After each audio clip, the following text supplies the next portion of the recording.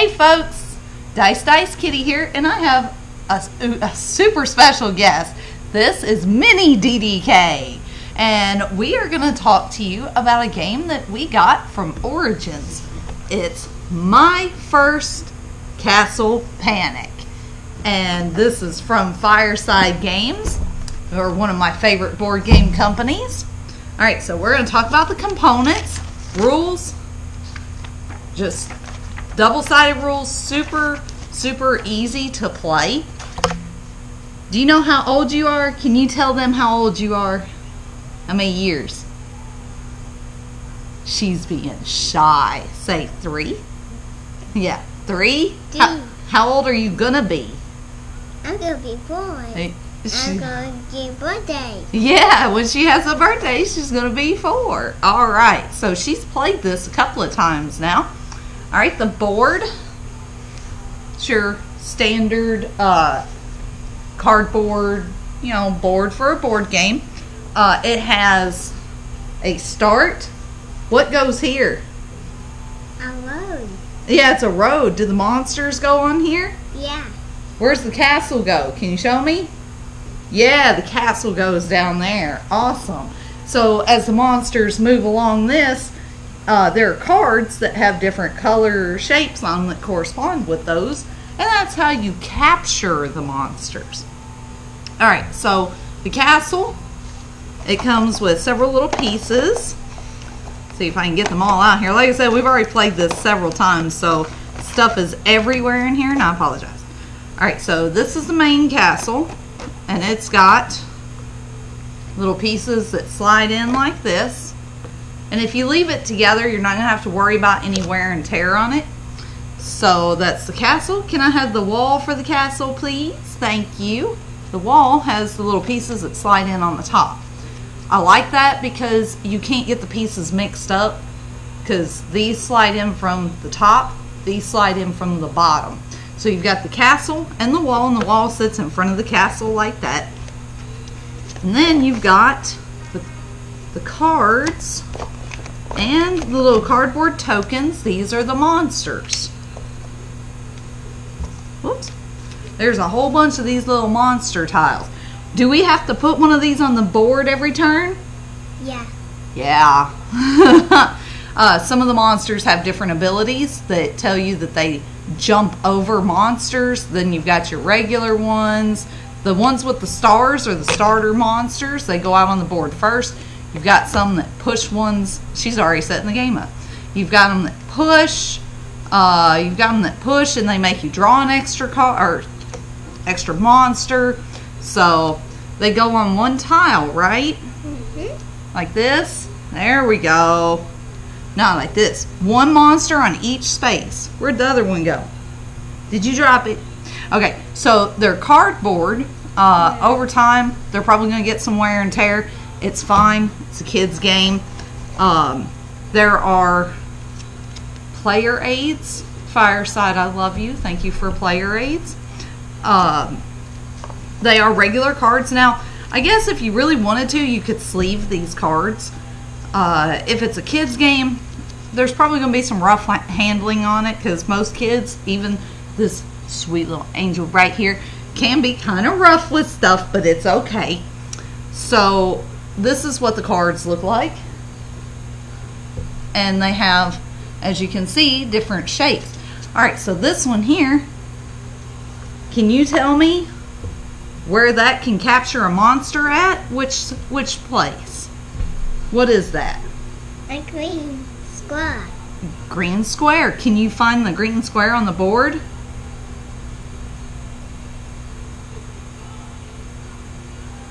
Yeah, there you go. Okay, so there's no monster there, right? So you can't use that card there yet. But uh, they all have different things on them, like I said, like this one. What are those? Tangle. Triangles, yeah. What colors? Blue. And Tangle. yeah, what color? Green. Red. Yeah. So, are there any red, green, or blue monster or triangles that monsters? There. There's no monster there though. What about the other one? There. Is there a monster? Yeah. There is. Is he invisible? The? Where's what about this one? Is there a red triangle with the monster? There. Okay, so what do we do when we have a card that we can play? Mm-hmm. You play the card, capture the monster. Where does the monster go? In this cool little box dungeon. This, uh, yeah, in this game we don't kill the monsters, we capture them. So after someone plays a card, they take a random monster. So after we're done with our turn, what do we do? Gotta put a monster move, right? Mm-hmm. And then we gotta get another one, right? Where's it go? In the starting place. Uh oh, that's got a symbol on it. So, yeah, so the symbol is an arrow, like this, which tells us we have to move the monsters. Are you tired? No. I'm Okay. playing. Now that's that arrow means we have to move the monsters again. Can you move them? Yeah. Good job. The hand with the tile on it means we have to draw another monster. So you want to draw another one? Okay, go ahead. And then where does that monster go? Right. Good job. She's only played this maybe three times. She's three. She has a pretty good idea of how to play. So uh, when the monsters get to the wall, they tear the wall down. Uh, if they get to the castle, we lose. So it's pretty easy though. Gameplay, like you saw most of it. So you draw a card from the draw pile as the first thing you do every turn. Then you play one card from your hand, just like she showed you a minute ago. Or you can ask for help from another player. So if I had had this card in my hand and she saw it, she could say, Mama, will you help me? Okay. Will you say that for me?